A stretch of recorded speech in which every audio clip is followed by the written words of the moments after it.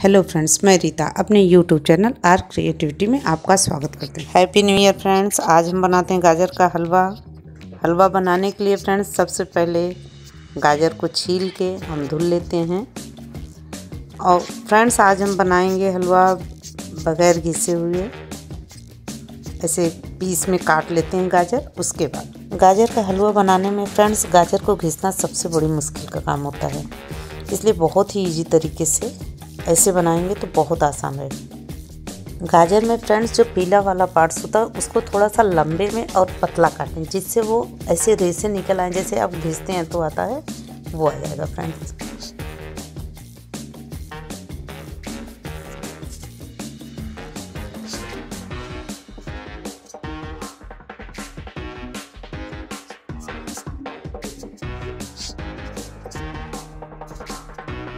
गाजर हमारी कट गई है फ्रेंड्स अब इसको हम करेंगे बॉयल बॉयल करते समय फ्रेंड्स इसमें पानी ना डालें.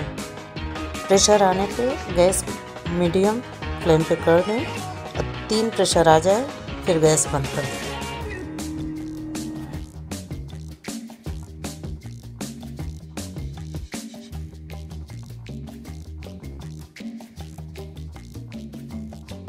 जब तक हमारी गाजर पक के तैयार होगी फ्रेंड्स। इधर हम चढ़ा देते हैं चूल्हे पे दूध, जो कि थोड़ा पक जाए, गाढ़ा हो जाए। गाजर हमारी पक गई फ्रेंड्स, इसको मैश कर लेते हैं। फ्रेंड्स, कोई मैशर हो, स्पेशल हो, जिससे आप कर पाएँ, उससे कर दीजिए। इसको मैश कर दीजिए फ्रेंड्स। और इधर फ्रेंड्स, हम रोस्ट कर लेते हैं ड्राई फ्रूट्स। आपको जो पसंद हो फ्रेंड्स। इसके साथ में फ्रेंड्स, हम हरी इलायची जो होती है फ्लेवर के लिए उसे भी हल्का सा रोस्ट कर लेते और हैं। और इसे हम लेते हैं कूट। और इलायची को भी फ्रेंड्स कूट लेते हैं बारीक जितना कूट जाए और मेवे को भी अपने जो भी हमारा ड्राई फ्रूट्स है उसको हम कूट लेंगे फ्रेंड्स बहुत ज़्यादा बारीक नहीं कूटना है इसको दरदरा रखना है देखिए फ्रेंड्स ऐसा। और दूसरी तरफ़ फ्रेंड्स कढ़ाई में हम डालते हैं दो चम्मच घी और गाजर को अच्छे से भून लेते हैं। फ्रेंड्स देसी घी से फ्लेवर बहुत अच्छा आता है। पाँच से सात मिनट तक फ्रेंड्स इसको भूनने पे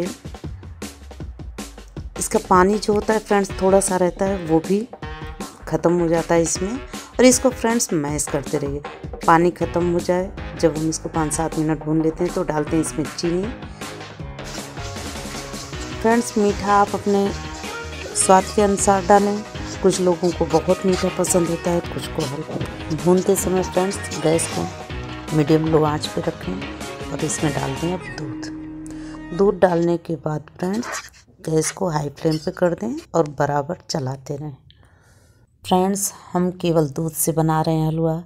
हमारे दो किलो गाजर में डेढ़ किलो दूध का इस्तेमाल किए हैं फ्रेंड्स। और ये देखिए, हमारे हलवे की कंसिस्टेंसी देखिए फ्रेंड्स, अब इसमें हम डालेंगे अपना ड्राई फ्रूट्स जो मैं कूट के रखे हुए हैं और इलायची और इसको बराबर भून देंगे फ्रेंड्स। और थोड़ा सा क्रीमी टेक्सचर देने के लिए फ्रेंड्स इसमें डालते हैं क्रीम जो कि हम घर के दूध से निकाल के रखे हुए। क्रीम डालने के फ्रेंड्स मीडियम लो आँच पे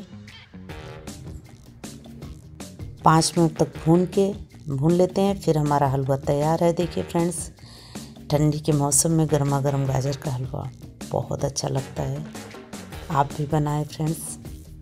आपको कैसा लगा बताइएगा। अगर वीडियो पसंद आई हो तो लाइक और शेयर करें।